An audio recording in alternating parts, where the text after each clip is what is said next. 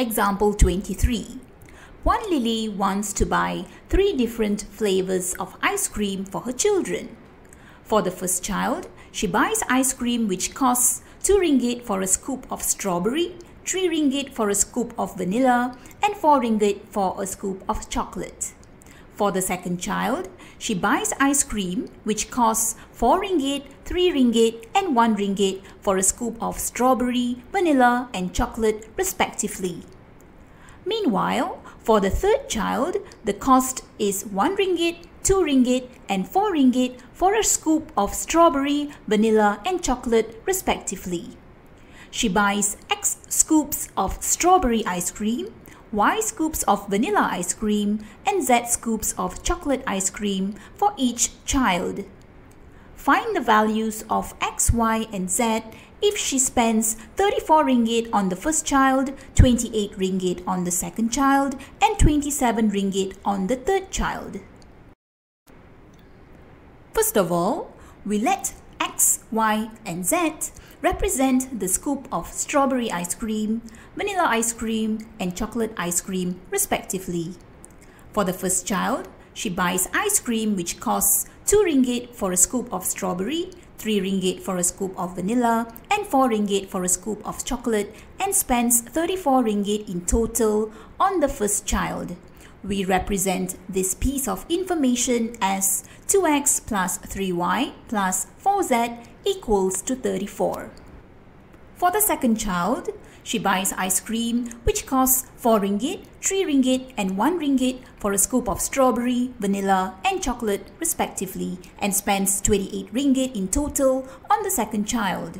This piece of information is represented as 4x plus 3y plus z equals to 28. For the third child, the cost is 1 ringgit, 2 ringgit and 4 ringgit for a scoop of strawberry, vanilla and chocolate respectively and the total spent on the third child is 27 ringgit. This piece of information is represented as x plus 2y plus 4z equals to 27. With that, we have our three linear equations derived from the information given in the question. We proceed to now converting these three linear equations into matrix equation of the form AX is equal to B. The elements for the first row of matrix A are the coefficients of x, y and z from the first linear equation. The elements for the second row of matrix A are the coefficients of x, y, and z from the second linear equation. The elements for the third row of matrix A are the coefficients of x, y, and z from the third linear equation. Therefore, A is the matrix containing the elements 2, 3, 4, 4, 3, 1, 1, 2, 4. Let's now move on to matrix X. Matrix X contains the elements x, y, and z written in the order of 3 by 1.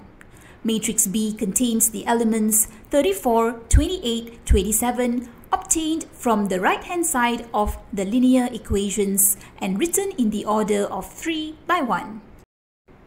From AX equals to B, multiplying both sides by A inverse gives us X equals to A inverse B.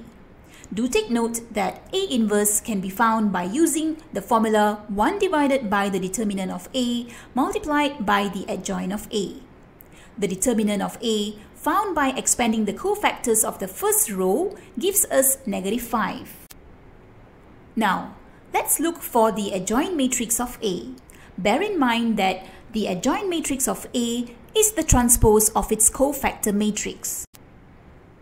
The cofactor matrix of A obtained contains the elements 10, negative 15, 5, negative 4, 4, negative 1, negative 9, 14, negative 6.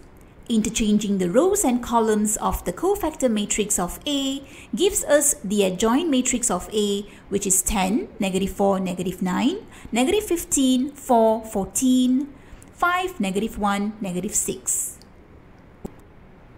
Substituting the value of the determinant of A and the adjoint matrix of A obtained earlier into the formula of A inverse gives us A inverse to be negative 2, 4 over 5, 9 over 5, 3, negative 4 over 5, negative 14 over 5, negative 1, 1 over 5, 6 over 5. Let's now find the values of x, y and z by using the formula A inverse times B. The resulting matrix obtained here is one that is of the order 3 by 1. Multiplying A inverse with B gives us the matrix containing the elements 3, 4, 4. Therefore, x is equal to 3, y is equal to 4, and z is also equal to 4.